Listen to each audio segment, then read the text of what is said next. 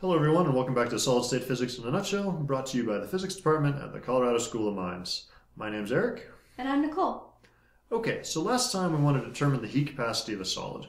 To do this, we started with the Einstein model. The resulting heat capacity worked really well for high temperature, but not so much for the low temperature limit. So with that in mind, our goal today will be to step it up one notch and use the Debye model for heat capacity. How's that different from the Einstein model? Yeah, so Einstein assumed that all the atoms vibrated at the same frequency.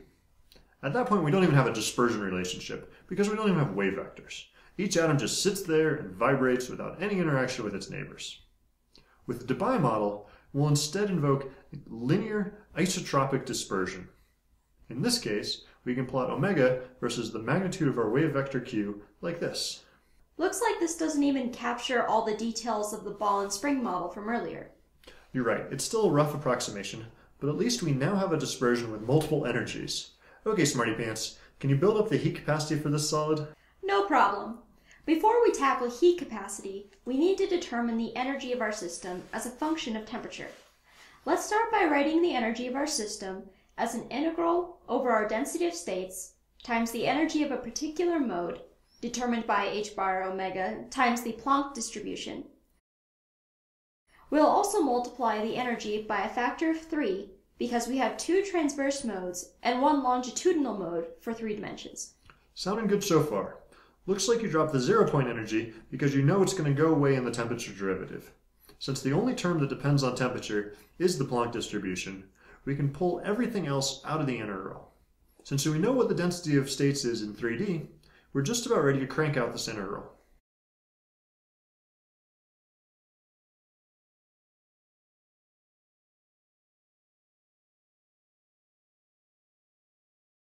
But we're missing what our cutoff frequency is. Yeah, so we can figure that out by looking at the total number of modes in the system. We have two transverse and one longitudinal mode per atom, n cells, and then r atoms per cell.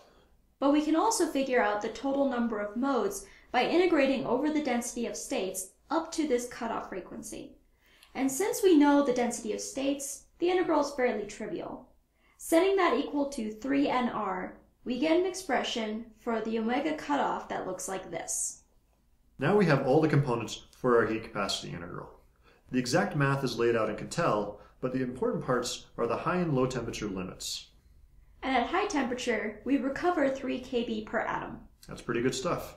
The better news is the low temperature limit has a T cubed temperature dependence, which agrees very well with the experiment. So other than the right temperature limits, a pro for the Debye model is the fact that we really only have one free parameter, and that is the slope of dispersion, or the speed of the wave, which we can determine through experiments. The Debye model is still sort of creepy. It gets the heat capacity right at low temperature because we're near the origin of our dispersion where we can treat a sine wave as a line. But I'd expect it to be less accurate at intermediate temperatures, where we've started to sample the upper parts of the dispersion. You're absolutely right. At intermediate temperatures, the Debye model is going to be a bit off. Nevertheless, you're going to find that the Debye model is used throughout solid-state physics, as it's a nice combination of being a decent approximation and being ridiculously simple. Before we leave today, we have some questions for you all to consider. How do you design a solid with really high or really low heat capacity? And more broadly, why should we even care about the heat capacity in a solid? Are there reasons to think about heat capacity beyond something simple like heat storage? Okay, so next time we're going to develop an expression for thermal conductivity in phonons. But that's all for now. Thanks for watching today's broadcast of Solid State Physics in a Nutshell. See you next time.